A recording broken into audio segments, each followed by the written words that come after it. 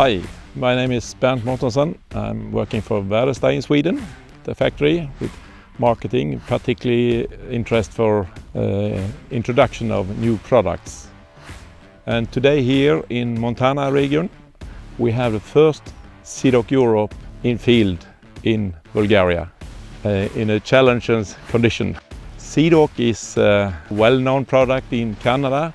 It's mainly big machines, 24 meter toolbar and 35 cubic cart. And that's not possible to use in, in Europe because they are almost six meter in transport. So that's not possible. So here we have designed a European version, six, eight and nine meter.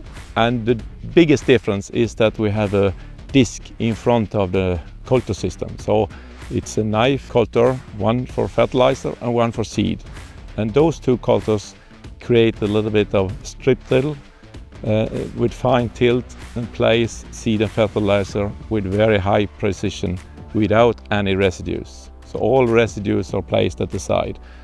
And the disc makes that we can go in any, more or less any condition with heavy residues, corn stubble and so on. The hopper is in total 7 cubic and it's split in three, three different hopper the first one is 2400 liter, middle one 2000 liter and the rear one 2600 liter.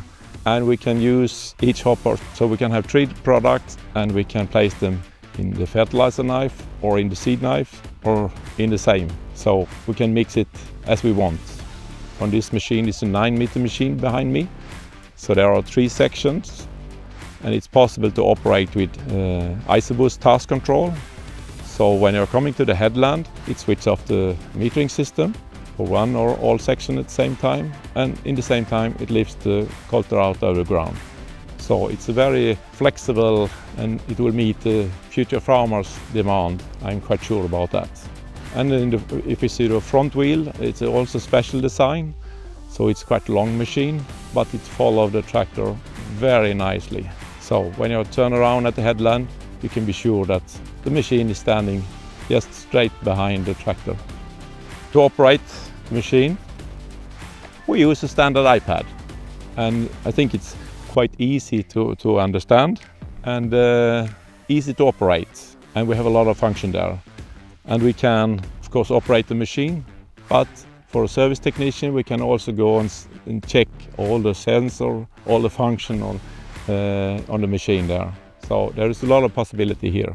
We think it will be very successful and there is a high demand uh, in, in Europe and we can see that the condition, for example here in South Europe, it gets hotter and hotter and uh, we are now close to November and it's very hot. So it's, it's important that we keep the moisture and that we can have, create have a, a good crop with high quantity, with good quality, and that we save the, the soil and the condition, and that we adapt to future condition in the best way. So try to increase the yield and reduce the cost. That is the idea about this machine.